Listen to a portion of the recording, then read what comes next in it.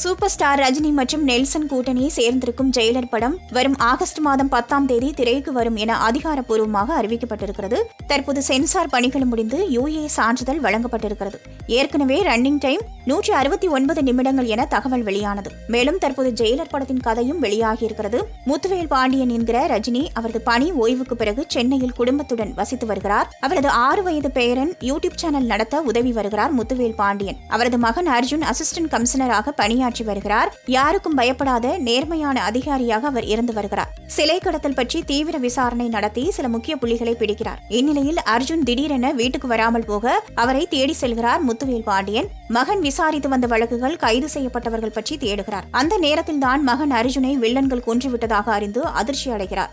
ஆனால் ஒரு கட்டத்தில் மகன் உயிருடன் இருப்பதை பார்த்து இன்னும் அவருக்கு அதிர்ச்சியாகிறது மகனை திரும்ப அனுப்ப வேண்டும் என்றால் ஒரு நிபந்தனை விதிக்கிறார் வில்லன். இந்நிலையில் மகனை மீட்க தனது பழைய நண்பர்கள் உதவியை முத்துவேல் பாண்டியன் கேட்கிறார்.